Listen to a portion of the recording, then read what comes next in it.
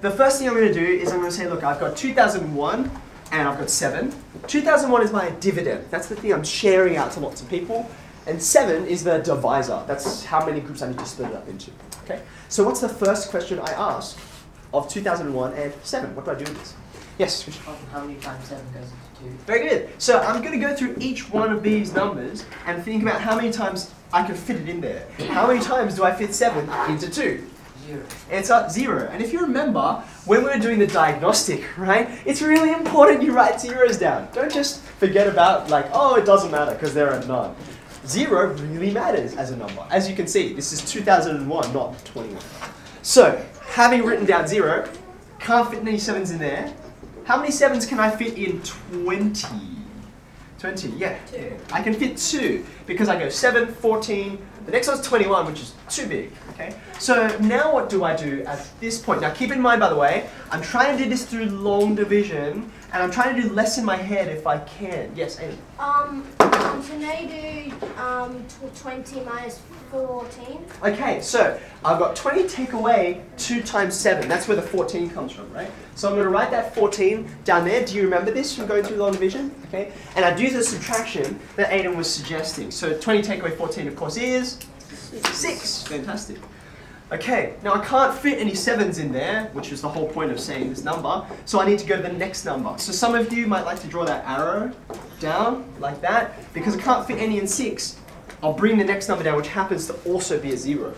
Okay, this is a bit of a big number. How many 7s can we fit in? Someone who hasn't said anything just yet, someone to offer? Yes, Maria? 8.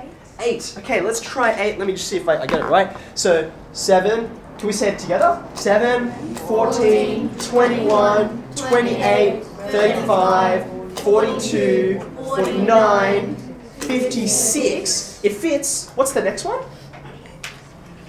The next one will be 63, which is too far, okay? So Maria got it in 1, so I'm going to write down 8 up here.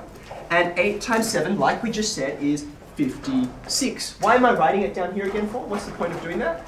Yeah. You need to subtract it. Yeah, so I can do the 60 take away 56. I know a lot of people are going to do the little numbers up here, and it's kind of okay, but I'm trying to avoid doing things up in my head, like this subtraction. If I write it down, that way I can know that it's going to be right. If I get it wrong, I can work out where it went wrong, rather than like a whole bunch of little numbers that I'm not sure what they mean. 60 take away 56 is... is? Four. Four, very good. And of course, I can't fit any sevens in there, so I bring down the last number, which is a one. Uh, we just went through on our fingers, we just rehearsed all those multiples, so how many multiples of seven can I fit in 41? And the answer is, yeah, Christian? Five. It's five. Very good. Okay, now I've kind of run out of this space. I'm going to move this a bit further down. Okay, so now I will get to the remainder in a second. That's my very last step. So I've got 35 down here, five sevens, and now I'm going to do the subtraction, right? Last one. 41 take away 35. 6. Six. And there are no more numbers to pull down with arrows, so that's my remainder. You happy with that? Okay? Yeah. Okay, now because I rubbed it off, can someone repeat to me what was the um what was it? 11 divided by what was it? 3, 5, 5, 4, 3524, is that right? 3, 5, 4, 2. 3542? Did I swap them around? Okay. So this time, rather than talking through it in so much detail, because I think now we've sort of got it in our head, I'll do this one a bit quicker and you can check your answer and also the way you set it out. Um, please, if you didn't write it down like this to show the long division, please copy it down. I'll leave it on the board for a second. When I'm looking through your bookmark, I'm not just looking, I've said this a few times, not just looking for that final number.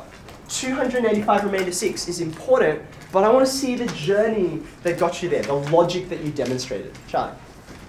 I think we'll look through the rest of our book too. Um, I'm mainly going to focus on these, okay? Because this way it's like, yeah, I'm, I'm explicitly sort of mentioning I'm expecting a really high standard and that you've marked and corrected your work and so on. I may have a peek through the rest of your book, but these are the main things I'm going to be paying attention to. Okay, we'll do this one quicker this time. I don't fit any 11s in the first number. I fit three 11s in the next one, right? So that's how this comes down and I subtract. So far so good?